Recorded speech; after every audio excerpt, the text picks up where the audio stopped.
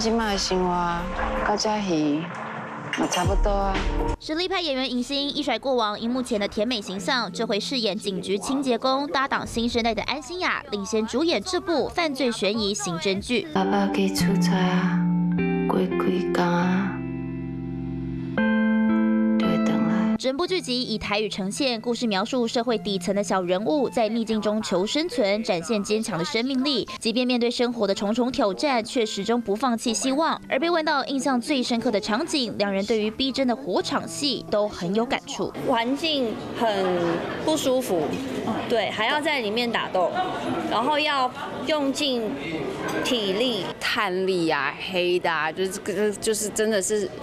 傻不用钱的一样，对你拍完之后是没有亲人会认得你。这部戏更是影星首次挑战以台语演出，事前下足功夫苦练，还把安心雅当做他的台语救星。只是对于剧中角色被贴上标签，戏外身为演员的他们也能感同身受吗？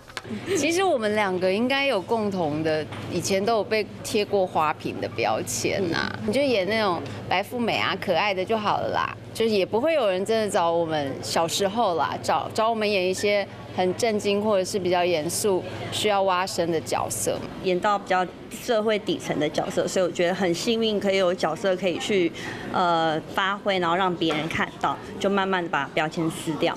透过细腻刻画人性，融入大量犯罪悬疑元素，这部台语刑侦剧即将正式开播，期盼能惊艳国内外观众。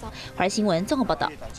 Hello，我是易景，想要抢先掌握最及时的新闻资讯吗？赶快订阅、按赞、开启小铃铛，锁定华视新闻的 YouTube 频道。